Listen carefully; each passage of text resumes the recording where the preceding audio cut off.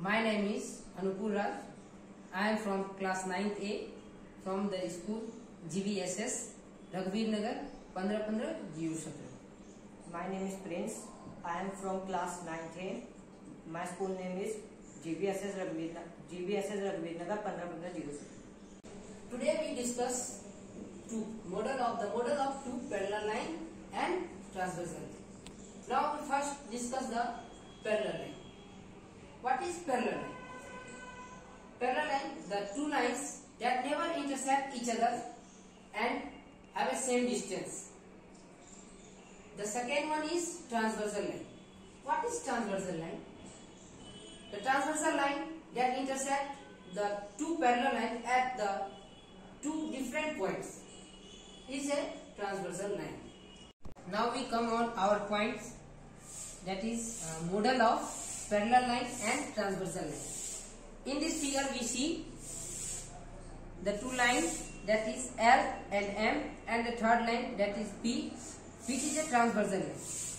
In this figure we see the parallel line L and M is intersect by a transversal line which is P at a different point. अब हम अपने एक point पे आते हैं जो है लीनियर पेयर लीनियर पेयर होता क्या है एक स्ट्रेट लाइन पे जब कोई भी एंगल फॉर्म होता है, एक से अधिक एंगल हो, और उस सारे एंगल का मेजर जो होगा 180 डिग्री होगा।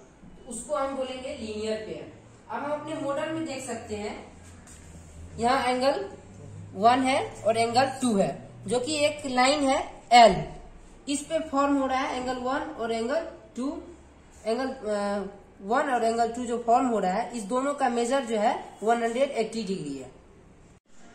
अब हम अपने दूसरे पॉइंट पे आते हैं, जो कि है vertically opposite angle vertically opposite angle होता क्या है?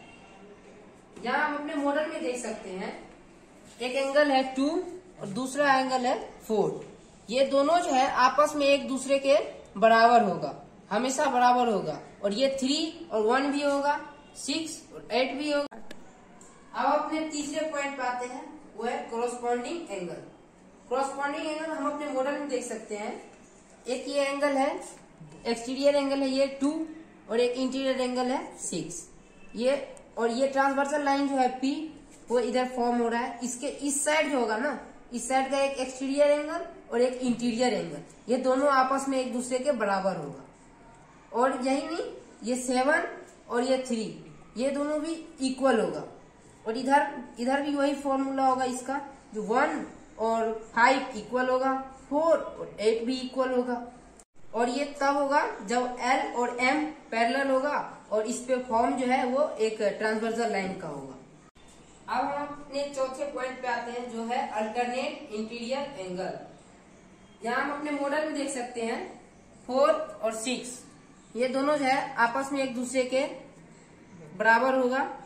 ये दोनों अल्टरनेट है फोर और सिक्स उसके बाद थ्री और फाइव ये दोनों भी इक्वल होगा एक दूसरे के फोर सिक्स थ्री फाइव और ये भी तब होगा जब ये एल और एम पैरेलल होगा और यहाँ पे यहाँ पे एक फिगर बनता है। ऐसे हम देखते ये गया ऐसे, ये जेड का शेप बना रहा है। एल इधर से आएगा पी पे इंटरसेक्ट होते हुए, इधर भी आएगा फिर, और यहाँ से जो है ना, एक जेड शेप आप अपने पाँचवें पॉइंट पाते हैं।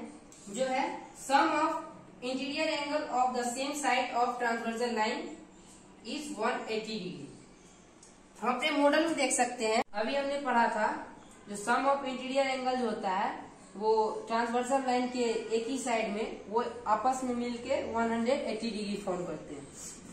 तो जैसा कि हमने पढ़ा था, जो ट्रांसवर्सल लाइन के सेम साइड में जो है कोई भी एंगल आपस में जुड़ के 180 डिग्री फॉर्म करते हैं। तो वैसा हम देख सकते हैं, इधर थ्री और सिक्स ये दोनों आपस में जुड़ के 180 डिग्री बनाएँगे।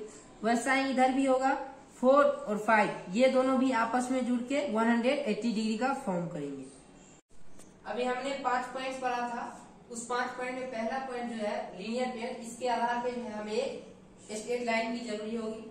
दूसरे पॉइंट्स में हमें एक है तो एक इंटरसेक्टिंग लाइंस की ज़रूरी होगी और थर्ड फोर्थ फिफ्थ के लिए है हमें दो पैरेलल लाइंस की और एक ट्रांसवर्सल लाइन की ज़रूरी होगी।